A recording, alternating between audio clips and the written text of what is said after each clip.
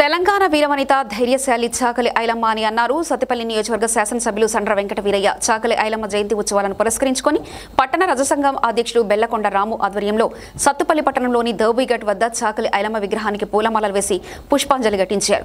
ఈ సందర్భంగా ఎమ్మెల్యే సండ్ర మాట్లాడుతూ తెలంగాణ వీరవనిత శాలి చాకలి ఐలమ్మ ఆనాడు నిరంకుశక నిజాం రజాకార్లను దేశముఖులను ఎదుర్కొన్నారని తెలిపారు.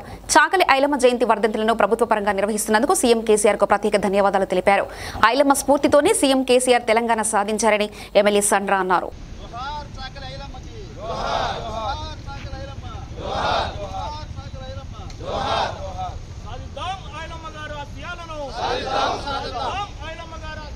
సాధిద్దాం సాధిద్దాం